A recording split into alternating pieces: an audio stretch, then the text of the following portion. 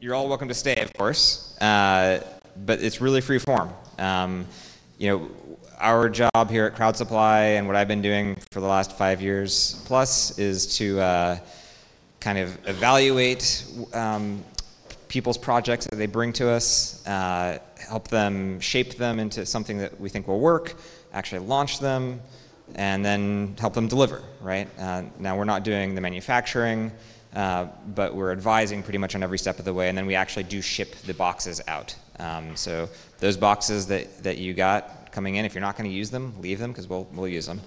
Um, yeah, so anybody, I know there was a sign up sheet downstairs. I don't have that with me, but uh, if anybody wants to just come up and pitch an idea, it doesn't have to be well formed or anything. Yeah. Sweet, come on up. Okay, so this is kind of a this is kind of a meta idea. Oh yeah. There's an agreement here that no one's going to steal your idea. Oh, uh, absolutely steal the idea. That's a great. That's fantastic. Yeah. Yes. Uh, so, like I said, this is kind of a meta idea. Um, I recently uh, had a product that I took through FCC unintentional radiator certification. Anybody done that? It's what you're supposed to do to sell stuff legally. Um, it's a lot harder than it should be and a lot more unreasonable than it should be. So I started a project called uh, ICTD, which is the uh, Internet Compliance Testing Database. And it's if you have an open source project and you get it FCC tested in an anechoic chamber, post all your results in one place and talk about lessons learned, like things that went well and things that went badly. Um, so I, I, in the last four months, I had like 10 hours in a chamber, and it's $400 an hour, and that's a lot. Um, but I put a call out, and I was like, if you have an open source project, mail it to me. If I have time, I'll pre-scan it, I'll post your results, and we can talk about it. Um, so I would encourage all of you to do that. You get it in two-hour chunks. You don't need all of it. Put a call out, get other people's projects, and test them, and post them, and we talk about it. So um, I don't have my computer up here, but I do have a link uh, it's bit.ly slash ICTD dash PLZ because ICTD is taken. So it's Internet Compliance Testing Database dash please PLZ because I want other people to contribute to the project. Um, what was that?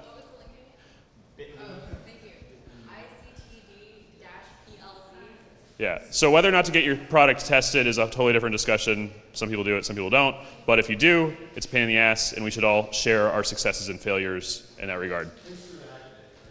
Oh yeah, yeah. So it, redirects to a Hackaday project site. So if you're on Hackaday.io, I'll add you as a contributor, and you can put your own post up. And yes, sir. Uh, Minneapolis.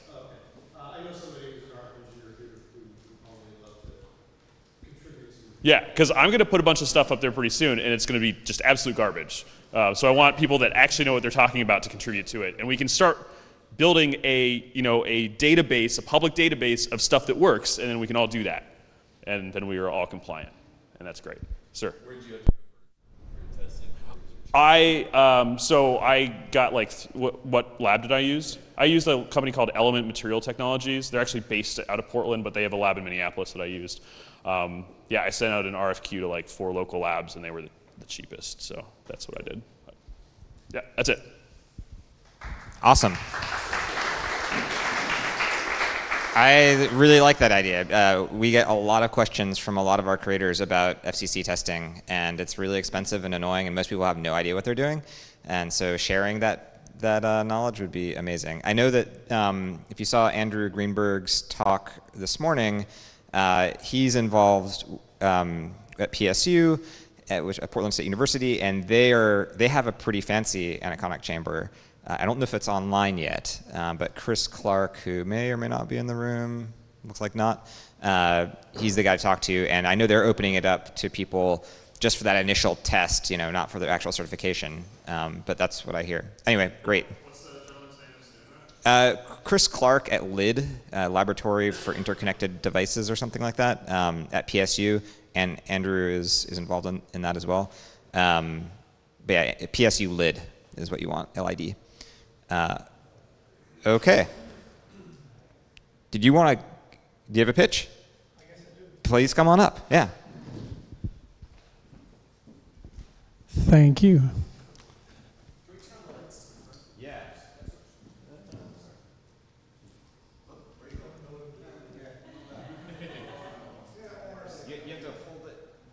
So I kind of asked for this session, but I didn't expect an audience. So be friendly, be nice. I'm, oh, I'm on the camera. Hey, hey, camera. How you doing, camera?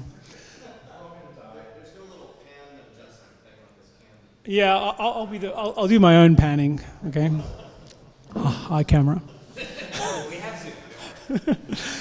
uh, so I've been working on this for about two years, on and off. Pretty simple idea. I don't know if it if it's worth anything, so it'd be interesting to get some feedback.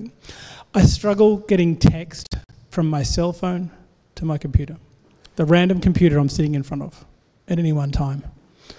I just and what started this was I moved from Linux, I moved to Linux from Windows and Mac, and my password manager, my password manager was left behind, and so my passwords are all on my tablet or my phone, and I'm trying to type them into a computer in front of me.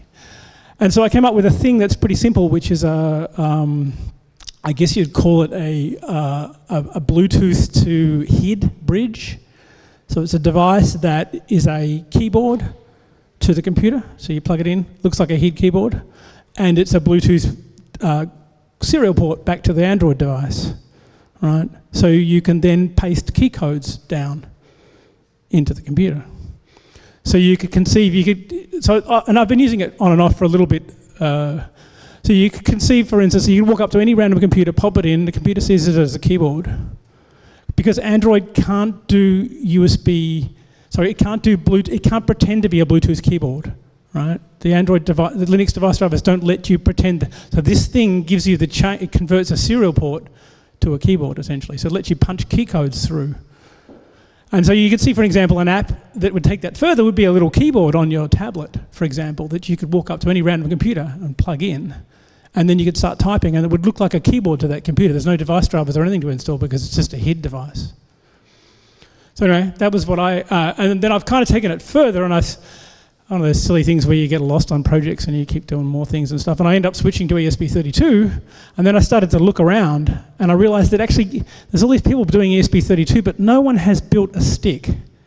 So an ESP32 on a serial port in a little stick, which is what I really need, right? With a, a micro doing the USB, because ESP32 doesn't doesn't have. So there's a there's a there's a meta product that you could build that this software would run on. So just to step back a little, it needs an app on the Android side because it's going to have to pick, or the OS X side, it's going to have to pick up, sorry, the iOS side, it's going to have to pick up the, the clipboard contents and uh, send it over Bluetooth to get this device to push to, to push the characters in. Um, but then as soon as you can do that, as soon as you've got that Bluetooth, uh, so, so, as soon as you've got that USB device in front, you can do all kinds of things, like you could do MIDI, you could do all, all sorts of things. Hi camera, sorry about that. Uh, so yeah, that was my. That's essentially my idea. Taking it a little further, and then okay, so why not? Why? And I've actually got some prototypes, and I've been messing around with that sort of thing, but I never sort of finish it. The thing that I, I went on a DigiKey and I looked for the. If you look at the microcontrollers and you say, okay, what has got USB, and you sort by price, there's this fabulous little device that's like just around a buck, in single quantities, and it's actually an 8051 that has USB. It's a um, it's similar to the thing that's in the Tomu. It's in the, it's in the it's an EFM eight instead of an EFM thirty two, and uh, that'll do uh, all, all, kinds of things you want on USB really really cheaply. And uh, so you put that together, and you put your, your ESP32 on there, and you can conceive a BOM that's less than ten bucks for for, for uh, quite easily, and then stick them together, or stick them in a plastic case, and off you go that USB part took me further in another, on another tangent. Uh, actually, it's interesting to see Tomu come out because it's. Uh, I've got some PCBs that are really similar to Tomu, but they're but everyone got a Tomu in their box, right? Yeah, yeah. So you know, you know what Tomu is, right? Uh, maybe you haven't done the workshop. Hey, camera.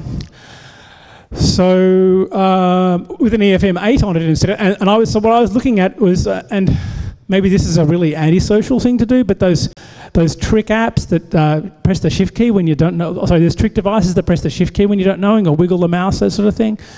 So you can actually, with an EFM8, for well, your BOM has has a cap and and a micro, so it's like a you know, point, or what's say, a dollar and one cent perhaps. Maybe the cap's still gone up a little more, but. And uh, you can fit it inside, like the Tomu, but flush. So you can't actually find the damn thing. And the idea there would be you could sell them like the, you could. I mean, if, if the BOM cost is that low and you can stick them on a board, you can probably sell them for four bucks each.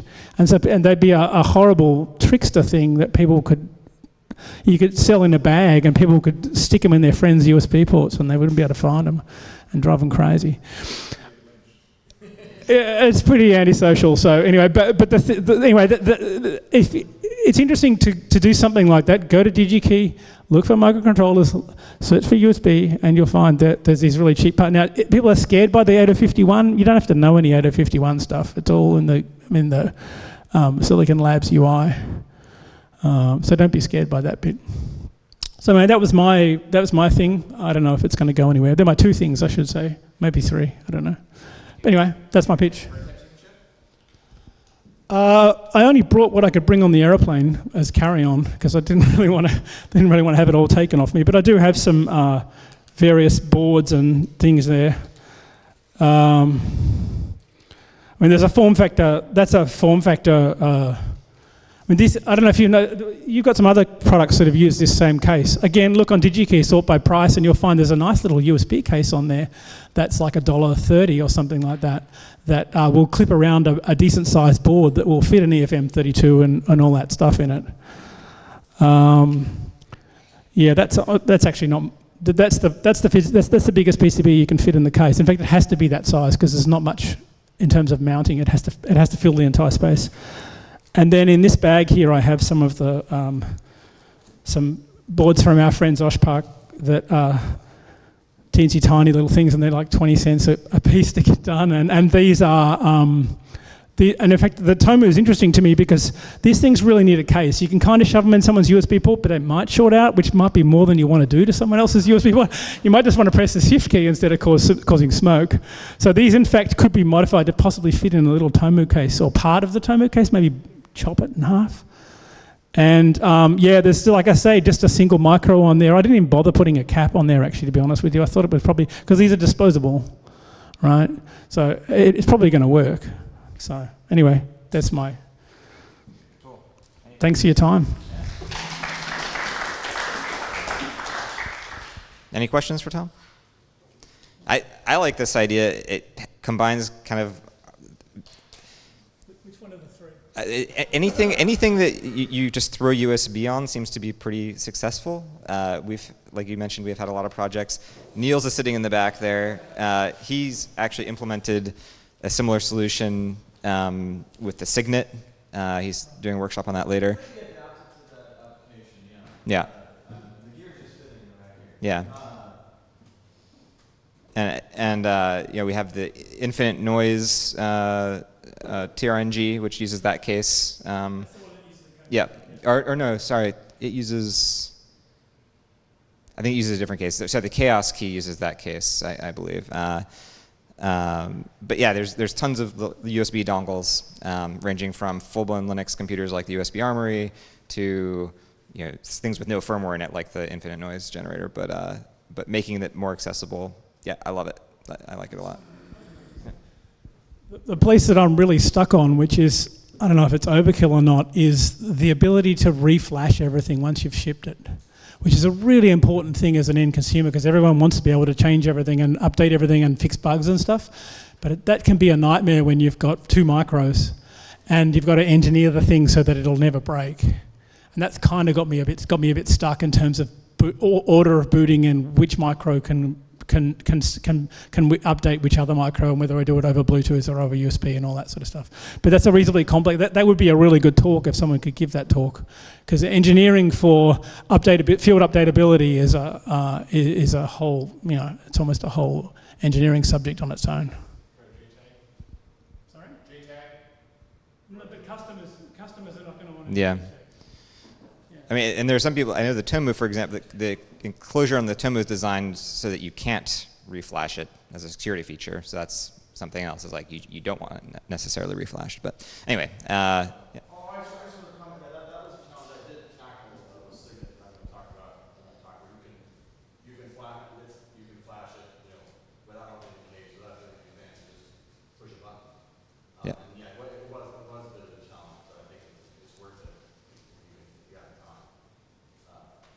Yeah, because not everyone has a development environment set up. Yeah. Cool. Next pitch. Yeah. Uh, yes. Hi, I'm uh, Jim Snow, and this is a microtonal musical instrument I've been working on. There's this one's kind of a, a mock-up. Um, you know, it doesn't have. A, there's a circuit board that I need to. I'm kind of in the process of designing. Uh, there's an earlier version of this uh, that's all done with breadboards that's set up downstairs. As far as I know, it's working. Um, hopefully, it will continue to work. Uh, so this is uh, meant to be a music, musical keyboard for octaves. It's designed explicitly around a tuning system called Just Intonation, in which all the musical notes have frequencies that are whole number ratios with respect to each other. And the ratios are actually printed on the, on the keys.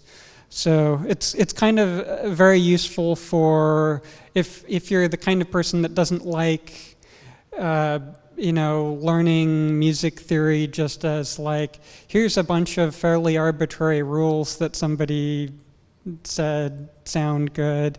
If you want to like understand music from first principles and say like oh hey if I play the three sounds that are in uh, four, five to six ratio to each other, that's a major chord. That's kind of an interesting thing to, to know, and you can, you can work out the math for yourself. Um, this is uh, designed for um, five and seven limit just intonation, so you can play ordinary standard Western music on this.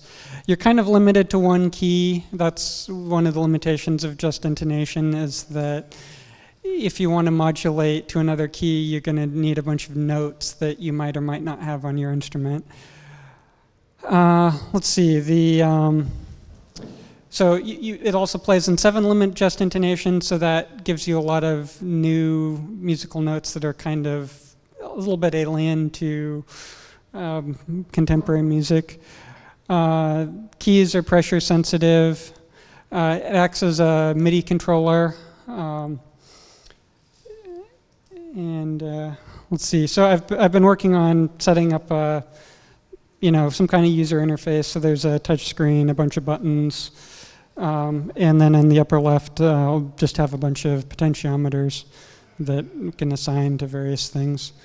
Um, so that's where I'm at. I'm trying to get to where I can build one, and then once I've got, uh, you know, one working, uh, I'll see if I can make more. I think I've got it figured out to where I can build these things without too much manual effort. I mean, probably the the most laborious thing uh, at this point will be like just coloring the keys. Um, uh, any questions? Well, it will be. The, the whole, whole back of this thing is going to have one big printed circuit board that has the, the contacts for the keys. Um, I mean, I've got the, uh, um, this is kind of another mock-up where I've, I've, printed what the PCB traces I, I mean to look like once this thing is an actual PCB. Um, there's this kind of like interdigitized fingers thing that you can do. Um, and then layer a pressure resistive film over the top.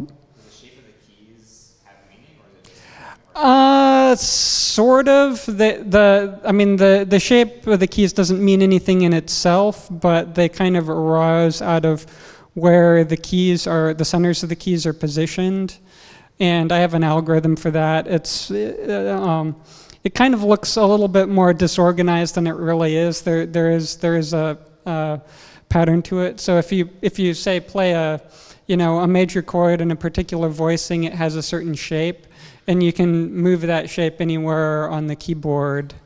Um, it's an isomorphic uh, layout, so the, that's a really nice property to have, and it makes it a little bit more intuitive. Uh, yeah. Um, so the previous version um, just runs off of a Raspberry Pi. Um, this one I'm intending to use a Teensy. Because The next question is if you, if you worked with the Teensy audio stuff before, because it's yeah, not yet, but that that is that is um, an option. One of one of the things I've thought about is, is uh, you know I'd, I'd like it to work as a MIDI controller first. That just that's probably what most people would want to use it for. But um, with the Teensy Audio, you, I can have it be its own synthesizer and just plug in headphones, which is kind of nice. And uh, you know the other option is to um, leave some space on the printed circuit board to solder in a, a DAC um, to uh, do CV output. So I can plug it into modular setup or something. Uh, yeah. You, you mentioned it's limited to, to one key, even change the root note Oh, yeah. direction, I mean, you could have that as a knob, right? Yeah, yeah, that can that can be a configuration option, or you know, if if you if you're really clever, you can set up like hotkeys or something. Like this this thing has a bunch of keys on the bottom, the black ones that are meant to be just assignable to anything you want, and I figure. You know, I can use those for like, you know, pitch bend and modulation and stuff, but I can also, and maybe octave up and down shifting, but you could also have like, you know, hit this button and suddenly you're in the key of D flat or something. So, Yeah. wait, does that mean it can't do chords? Oh, you can do chords. I mean, it's it's great for chords actually. It's it's a polyphonic instrument. The, the next one is, do you know anything about this stenography keyboards? 'Cause There's Oh. a market that needs a keyboard where you do chords and some sort of human interface. Yeah, like a stenotype machine. Yeah, I haven't I haven't actually looked at those. I I, I thought that there there actually were some projects to make good cheap cheaper steno keyboards. Yeah, I mean, actually produced a thing that you can click, click, click and get. huh. So it's, right now it's a very high dollar, limited, you know, professional quality stuff for people who are getting paid hundreds of dollars an hour to do it. And so they're happy to spend a thousand dollars on a keyboard because they have no choice. Yeah. If you Huh. might want to like tune your thing a little bit to make it available to them. Yeah, I hadn't hadn't really thought of that as like a different market. Yeah. Uh, we, not to like bring back too many times to the Teensy audio stuff, but if you're just getting, it's great. But if you're just getting started with it, uh, Paul did a workshop I three years ago now, um, and as a part of that workshop, he did like an hour-long video and has like a 30-page manual that is really good. So if you Okay. if you haven't used it before, like that's that's a really good way to get started with it. Um, Yeah, I've, I think I've I think I've seen that on his site. He's got a link to the video. I I've been meaning to watch it. Haven't gotten that far. the, the manual especially is really a great reference. Yeah, yeah. My my actual uh, current place I'm kind of stuck at is just like PCB layout, and you know I've I've got a I think the schematic is pretty much done, but I have to do some weird things like okay, I've got I've got these traces that are program programmatically laid out as an SVG file, and I need to import that into KiCad somehow, and I. Yeah, the weird shaped PCBs one. Oh, okay.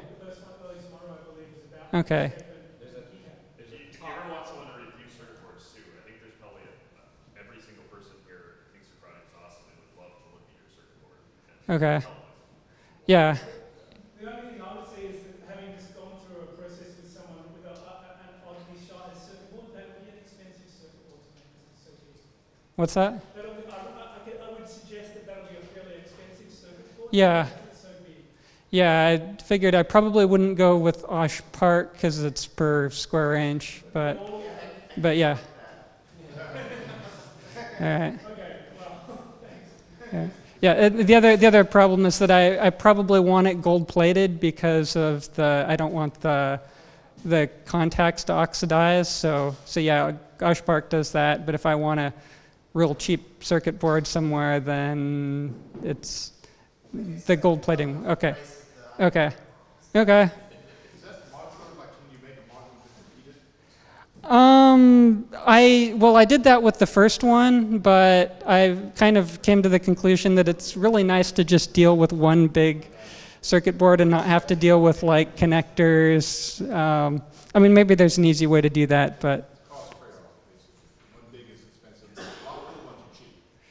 yeah. All right. Um, yeah. Any anyone? Any any uh, any more pitches?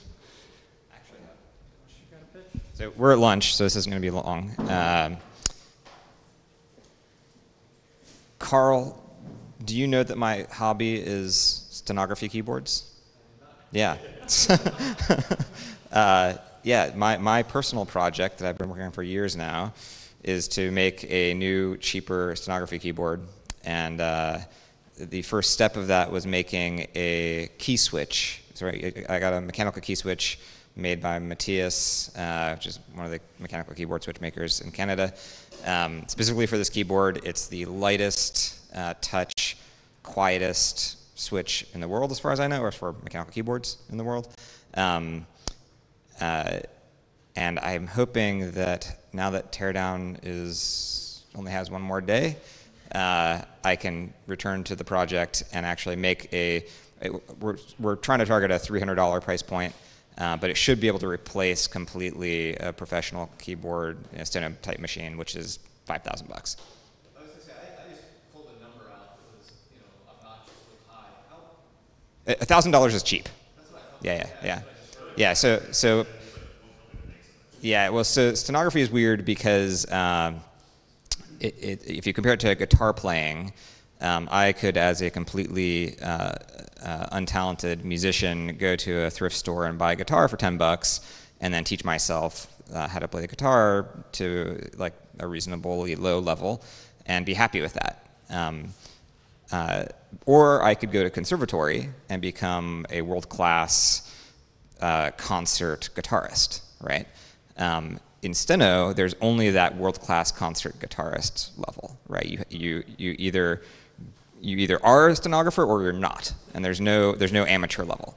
Um, so the project that, that I helped start with a stenographer friend, I'm not a stenographer, uh, but the, the stenographer friend of mine who started the project and I kind of glommed onto it, uh, called the Open Steno Project. Uh, we started with just a piece of software that replaced a several thousand dollar proprietary piece of software, some open source software, and then people started using that, and now they're using it professionally. Um, then somebody wrote a book uh, so you don't have to go to school anymore necessarily to become a professional stenographer, which that alone is two years. Uh, costs about twenty thousand dollars a year or more, and um, has a get this ninety percent attrition rate. So only 10% of people who go to school for stenography make it, and the others just spent thousands and thousands of dollars on, on software and hardware and schooling for nothing. Uh, and they don't use it again because they can't, because it only works with their proprietary software and hardware. So we're trying to change that. I'm not going to hold you up for lunch anymore, but uh, check out opensteno.org. Yeah. Yeah.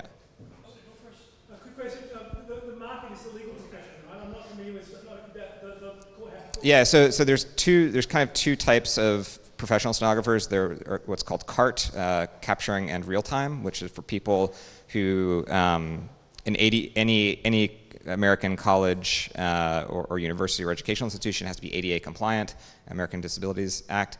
Um, and so if there is somebody who is hard of hearing, for example, in a classroom, then they have to have some sort of capturing in real-time system. That could be a lot of things, but one of the things it could be is a professional stenographer who sits in the back and just in real time types everything out, and the, the person has a screen they read it on, right? So that's one thing. Another is the the legal profession or depositions or medical records. Um, but the cool thing about this Open Steno project is that people are starting to use it for things that, like I would use it for, like coding, right? Or just writing a book, or instead, you know, replacing their keyboard with a steno keyboard. And instead of topping out at like 120 words a minute, which is really fast on a QWERTY keyboard, uh, you could top out at 250 or 300 words a minute in stenography, which is faster than we speak at, right? The, yeah, to be a professional, you have to get to 255 words a minute, I think. That's, that's, that is literally what it means to be a professional. If you pass this test with a certain accuracy, then you're, you get certified. Yeah. So the, the world record is 360. Yeah, yeah. And, and that's sustained, you know, Mark Killingsworth, or uh, I think that's his name. No, not Killingsworth. Uh, Kills, I'm forgetting his name now. Sorry, Mark. Um, super fast guy. He has his own steno theory. It's super interesting. It, it's a weird. I went to the National Stenography Association uh, uh, or National Court Reporters um, Association meeting once. It's amazing. You should all go because it, it's just the weirdest thing uh, I've ever seen. Um, super nice people, but it's a very weird world. Yeah, yeah. Isn't voice recognition going to make all this go away? Uh, it's a common uh, question. You should read Mirabai's blog post on that. Basic answer is no, because you don't always want to be talking, right? Like uh, there are many, many instances. Most of the time, when you're at a computer typing, you don't want to be talking. And so, if you're using it for day-to-day use, um, uh, there are a lot of instances where, where that wouldn't work. Or if you're on a subway, or, or I mean, there's a lot, a lot of even if voice recognition is perfect, which it's not, then there there are always cases where you don't want to do that. Yeah. Yes. Oh yeah. It'd be through the roof. Yeah. You, you, yeah. Yeah. Uh, yeah. I mean, it, it's basically a macro machine, right? So you just type a few keys, and it, the dictionary tells you what that maps to. So it could be, you know, a Java class boilerplate, or it could be uh, the in, you know, Declaration of Independence. No. Yeah. Yeah. There was chord keyboard, chord keyboard about 20 years ago. What happens? Is it the same? Uh, well, this is uh, steno machines are over 100 years old. This is uh, from a long time. You know, we're running out of time, so uh, let's go eat lunch. Yeah, sorry, Mir. Oh yeah, yeah. yeah one, more thing. Sorry. Hey, hey, everybody. Just before you run real quick, I work with Josh, not directly at Crowd Supply, but I, we work together. I run a consulting business. If you have a hardware project that you want to go to market with, you are ready to show it to the world, either by crowdfunding it or whatever, and you need somebody who knows what they're doing about going to market, helping you with PR, media, uh, I'm the person to come talk to. So come see me at the end. I've got business cards, and uh, we've worked together on a couple projects now. So that's what I do. Thank you. Thank you. Yes.